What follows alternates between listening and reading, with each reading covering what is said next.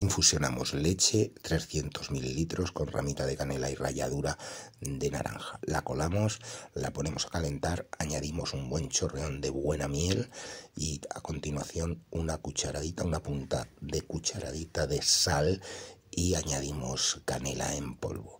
Removemos para homogeneizar la mezcla y a continuación vamos a añadir 30 gramos de harina de maíz, de fécula de maíz y vamos a ir removiendo a fuego medio alto, removiendo sin parar de remover hasta obtener una crema. Una vez que obtenemos esta crema, en el punto que vais a observar inmediatamente, fijaros, ya se van haciendo estrías o se van haciendo espirales en la crema. Cuando pega el primer hervor, la sacamos la dejamos enfriar y reposar en un recipiente.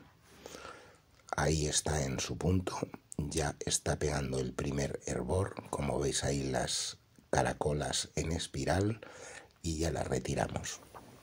A continuación ponemos nuestro zumo de mandarina a calentar y le añadimos, son 400 mililitros de zumo de mandarina y le añadimos 40 gramos de fécula de maíz, de harina de maíz.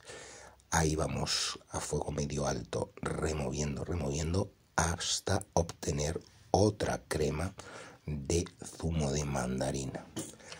Cuando nos pegue el primer hervor y ya sabéis, nos haga las espirales en caracola, está listo. Ahora, una vez que tengamos nuestras dos cremas, la de leche con canela y la de mandarina, la llevamos a un bol. En el fondo ponemos mandarinas cortaditas y vamos mezclando primero un chorreón de nuestra leche con canela y ralladura de naranja. A continuación otro chorreón de nuestra mandarina, de nuestra crema de mandarina. Volvemos a poner otro poquito de con canela y así sucesivamente hasta que lo, pues terminamos nuestras respectivas cremas, nuestros respectivos preparados. Y así nos creará una tarta, un pastel nacarado precioso, como veréis al final. Una vez que pongamos una alternando una y otra ambas cremas, vamos a alisar con una lengua alisaremos todo y lo dejaremos enfriar. Enfriar a temperatura ambiente. Una vez que esté frío a temperatura de ambiente, lo introduciremos en el frigorífico.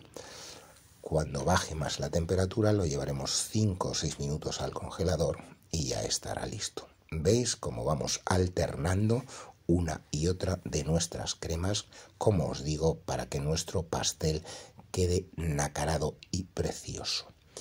Mm, el espectáculo visual está servido, pero el papilar es realmente increíble. Es muy fácil de hacer, muy baratito, fácil, barato, rápido y un espectáculo. ¿Veis? Con la lengua de gato vamos alisando nuestra última crema, que es la de mandarina. Y bueno, ya lo hemos enfriado, como os he dicho, y ahora le damos la vuelta a nuestro recipiente sobre un plato.